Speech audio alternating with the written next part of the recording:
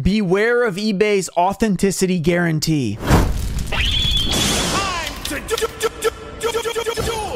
What's up guys, we're back with another live video and today we're talking about a situation that a friend of mine, Andy aka Thug Noodles on Instagram just went through like today I think was when he was posting about it. He had an issue with the authenticity guarantee. If you don't know what the authenticity guarantee is, they recently implemented a new guarantee that if you buy a card, I thought it was $750 or more. I thought it was $750 was the only time you use this authenticity guarantee, but it seems like you have the option at $250 or more. So basically if you buy a card for 700 $150 or more, you are required to send it to an eBay physical location for them to check the authenticity of the card. And it seems as if it's over $250, you have the option to send there. So I thought it was 750 because I sold a Black Luster Soldier for like, I think it was 550 or $600 recently on eBay since they uh, implemented this thing and it didn't require it. I just looked into this a little more and on this screenshot right here that I showed you guys earlier, it says $250 for ungraded cards. So graded cards, patch, and autograph cards are not currently eligible. So it looks like my BLS that was graded was not eligible. So they will authenticate ungraded cards, but not graded cards, which I guess they're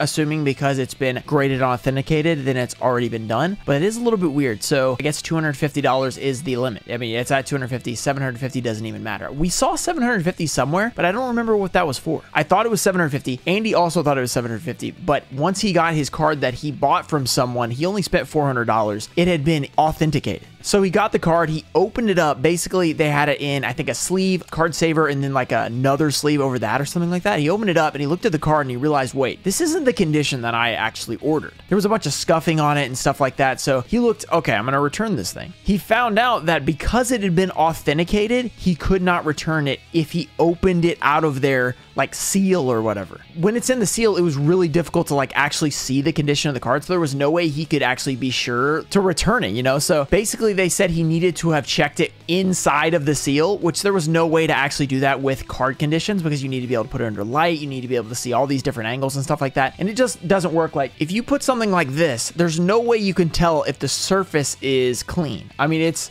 through three different layers of plastic. I mean, it just doesn't make any sense to have to check while it's still sealed. I understand the reason is so that you can't open it up, switch the card, and then be like, hey, I need to return it. That makes sense. The problem is, according to him, he said that he got on the phone with them. They don't actually check the condition to make sure it's correct. They only authenticate it to make sure it's a real card. That's a serious issue. There's no reason that if you already are getting the card out, making sure it's a real card, you should check that, okay, this guy bought a near mint card. He got a mint card. This card is clearly not near mint. Like they should be, che be checking that at the same time. And he did say on his story, I'm going to be popping his stuff up on the screen. So go give him a follow on Instagram. He also has a YouTube channel, which he does occasionally post. So Andy's keep posting on there. Another thing that he mentioned was this only applies if the seller has no returns or whatever, which usually does not matter on eBay because you have to require return. But it seems like in this case, they can get away with sending you a card that is not in great shape. So it seems like, honestly, once the authenticity guarantee is happening, you know you're going to get a real card, but it seems like Russian roulette if you're going to get the right actual condition. I don't see the drawback for the seller. They send you a card that's like moderate play. They check it out. They don't check the condition. And then once you get the card, you are unable to actually check the condition. Unless there's like an obvious like corner wear or a big gash you can see through all that stuff, then there's no real way to check the surface. The funny part is they have this thing that says genuine peace of mind from start to finish. So basically they're like, yeah, you're going to have peace of mind. You're going to buy this. You don't have to worry about anything. But now now it seems like you have to worry about everything. It's like almost worse now than it was before. Because before, if you got a messed up card, you just return it. It's no big deal. But now you have the messed up card. There's no returning it. I would be like, well, maybe he's missing something, but he got on the phone with them. So this is a serious issue. They also sent him messages. This is from the people he was talking to.